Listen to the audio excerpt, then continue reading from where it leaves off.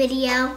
and I hope you enjoyed. Let's get started with this meat. Yes, this meat. So, for my friends that wanted to do a little video and you guys wanted me actually to come over and many of you requested that to help you learn how to do some canning, I thought I'll just do a little video for you and make it a little easy for you. Anyway, I have a boneless pork loin here. That's a big one. It's a it's a big one. You've seen them before. And I'm gonna go ahead and can it up. Um, I have some pint jars for all of our newbies here. Pint jars. This is a wide mouth. Now you could also use a um, small mouth or regular mouth jar. That's totally fine. I've got many of my canning when I have meat in it, you can use a spoon, dig it out, it's no big deal. Okay, so I'm gonna be canning this up, but just to go over for our newbies that really don't know anything about canning at all, this is a Presto canner. I think it's the best one as far as to start with um, right away if you're new. It's not too challenging to work with it right away. So right here we have the, our canning area. This right here is a divider. Most of the time you need two of this if you're to double stack. Um, like today, I do not have a second one of these to do a double stack, but I can jury rig something really quick to use if I double stack today. Um, so you go inside, you have to have that at the bottom of your, your jars. And as far as your lid goes, you can see it's been very loved. There's a little ring gasket around the inside. Plastic, make sure it's all good and ready to go. I'm gonna put this over out of the way for right now. We're gonna start on the meat here in a second. Let me wash my hands This, we'll talk about this later. So let's get this meat cut up and then I will be back.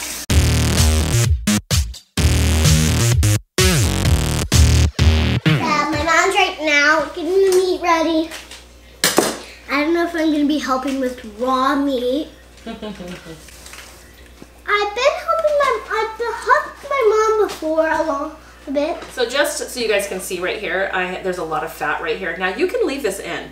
It's not recommended that you use a lot of fat in it, but is pork loin. I know it's, you know, on the um, drier side when it gets cooked.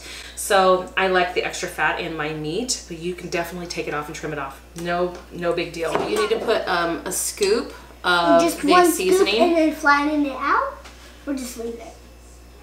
Sorry, You, can, you can flatten it out. That'd be fine. okay. Go start with the salt first. Do salt. Um, do all the jars with salt first. Then add the other seasonings. Yeah, that would be fine. Yeah, flatten it out. That'd be good.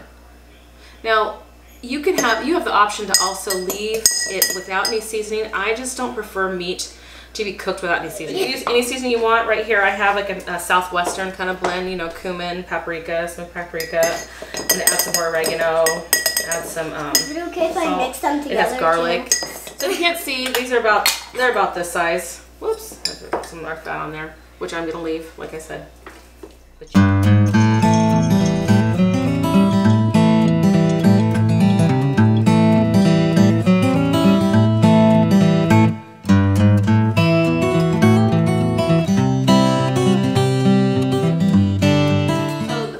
Cut up now, and now um, I had Neva put all the seasonings in that we're gonna use, and like I said, mine's like a southwestern blend.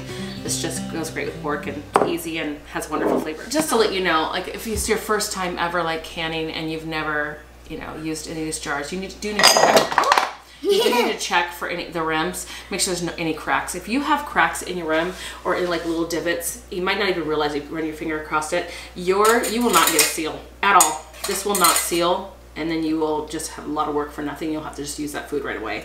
So it's really important.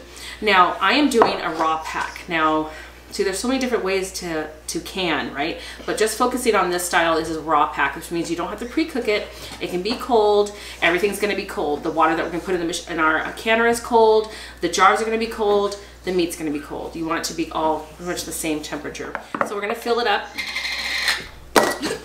right here, you wanna fill it up. Come on, be brave. Use your hands. Get dirty. She usually struggles with this part. She never likes to touch the raw meat. You want to try again? Bye. See? All right. So Do that part, mom. You can put gloves on. I don't. I don't put gloves on. So when you fill it, you do need an inch of headspace. Now, if you're feeling, I've been doing this a long time, I can get away with not doing that, but I would say for you newbies, don't do that. So you want to squish that baby down there. Now, another option. You could put broth in here if you wanted, like water. It's gonna make you a great broth, or you could use broth, bouillon cubes, whatever you want, and put that as flavor in there and have a, a broth with it. I'm doing a raw pack with no broth. I like it to just be in its own juices. Sometimes I actually do have some that are not. I could show you one of those later, but um, this is definitely a great way to do it. I think I'm gonna throw some more in there. Just a tiny Throw bit, not much as I too can much. in there because I have a lot of meat here. This is how much I love my mom. Oh. So we've moved on. We've got this all done here. We've got them all packed up. So now the next thing you need to do is really important is to clean your room. So you just take some simple vinegar. I've got some white vinegar here. Just take this and you're gonna ring it around here because you know we've touched them with all sorts of stuff. Just a little bit of grease and fat in our meat. So I'm gonna clean that off. All the rim's gotta be cleaned off. Now, when you're tightening these bands, don't tie it really tight. You need to be able to get some of the air out, right? That's part of the, the process. So it's just like finger tight. Once you can do like this and it's not moving, you're good to go. Good to go. Super easy.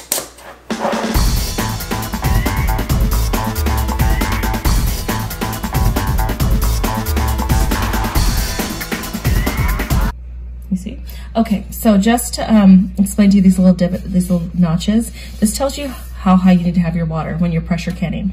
So just so you know, you don't really need a lot of water. There's a line way down here. Of course, you can see I've used this a lot, but there's a line. That's as much water as you need to can, and that's with double stacking. Just that much water, and then we're gonna put a splash of vinegar in that. Let's do this, man. It's ready, it's ready, it's ready, it's ready. We're still almost to the line. Um, so we're gonna take and put a splash of vinegar into our water. The reason why we do this is so we don't get cloudy looking jars. So that's the worst. It doesn't look really pretty. They're fine, but they don't look pretty. So you put a splash of vinegar in there.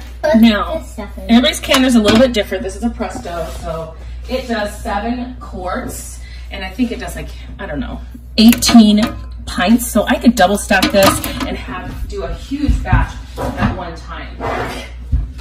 But I'm actually gonna focus on just doing these for right now. So on here, you see this little arrow right here. It tells you exactly where to align it.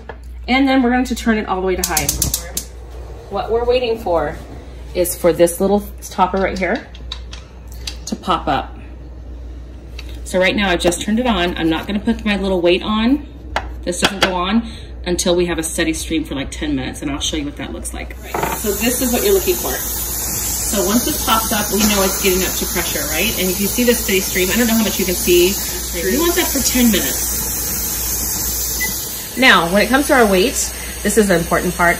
It's based off your pressure of where you live. Like the pressure is based off where you live, like um, your elevation. So you need to know your elevation. You can look it up really quick on DuckDuckGo or something like that. So um, once that goes ahead, and for me, it's only uh, 10 pounds of pressure. It's pints, so it's 75 minutes.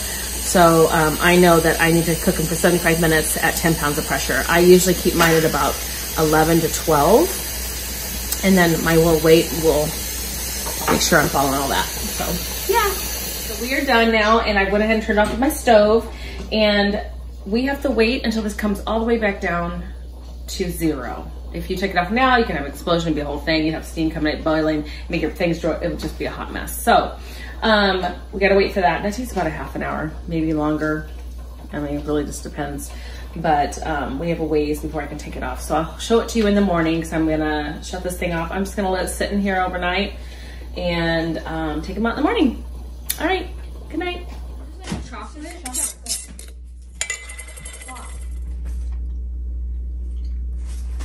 Perfection. Right.